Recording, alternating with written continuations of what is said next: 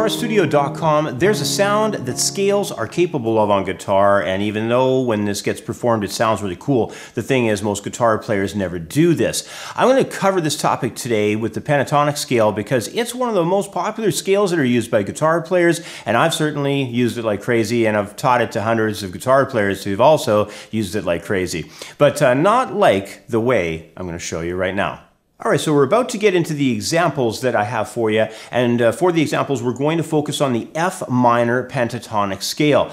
But the principle that I'm about to show you can be done with either minor or major pentatonics, any version that you'd like of pentatonic. The idea itself operates around taking two pentatonic patterns and learning how they sit side by side at first. And then instead of playing them separately or in different ways in a connected sense, we're going to catch up on the space in between and do everything at once by basically playing both of those patterns at the same time.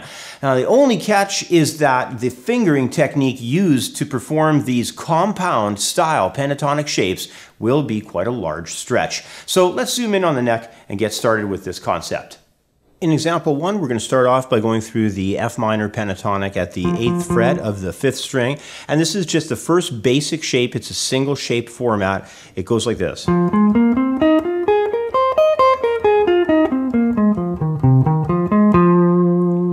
One more time.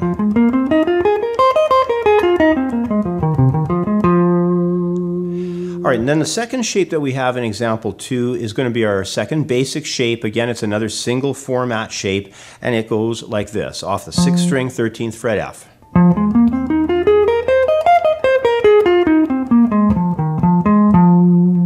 Here it is again.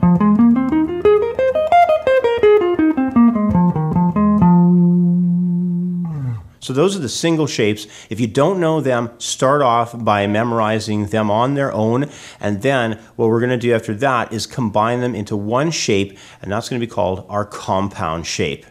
With the compound shape, what we're really doing is we're making up the space in between and we're performing both of the scales at the same time. Now, what I'm going to do is start off of the uh, F root on the 13th fret of the 6th string and we're going to double our way back and then go forward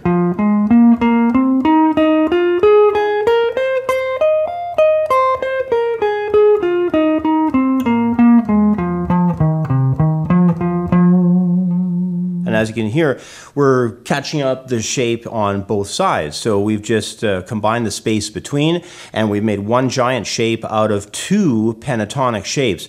And it's kind of an interesting sound, you know, when you move through the structure of it. It's, it's really different than just playing a standard pentatonic because of the unisons you get between the strings.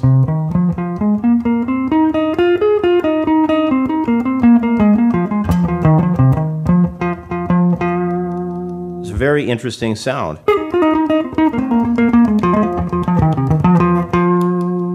So you can do some pretty cool ideas that are based between both of the pentatonics. But, you know, job number one would be to memorize the setup of the shape and, you know, then go across and use other pentatonic shapes. But just take your time with it.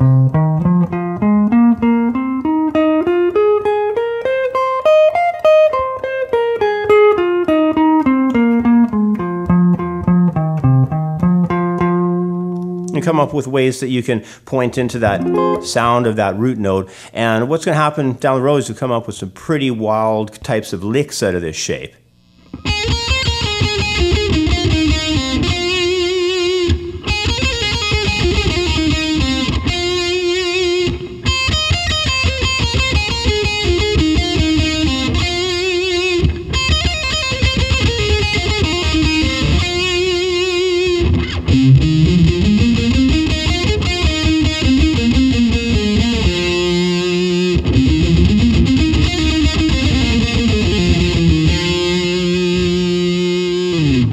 You can tell, this idea of using up the space in between our pentatonic patterns certainly isn't revolutionary or anything. The principle behind it is actually really straightforward.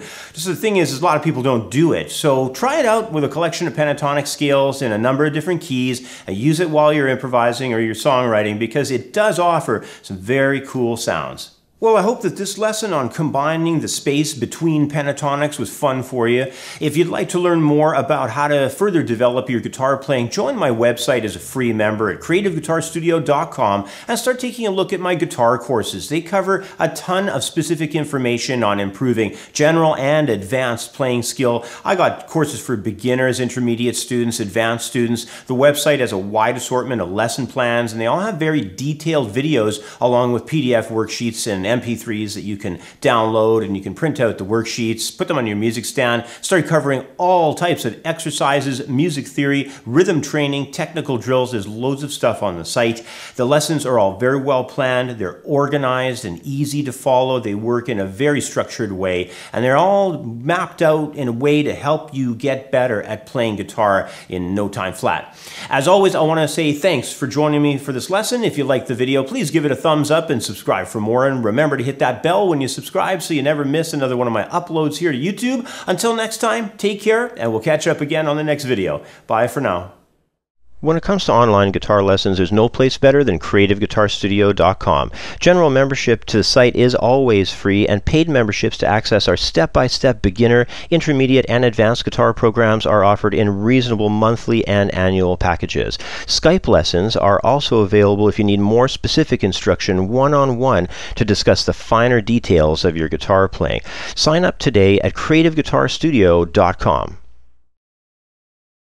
I've got 25 years experience teaching guitar and have written a well-organized step-by-step guitar course. Head over to my website at creativeguitarstudio.com and sign up for a free membership today. Join the thousands of members worldwide who have already enrolled. There's no need to try learning the guitar on your own. Let me help you become the best guitar player that you can be.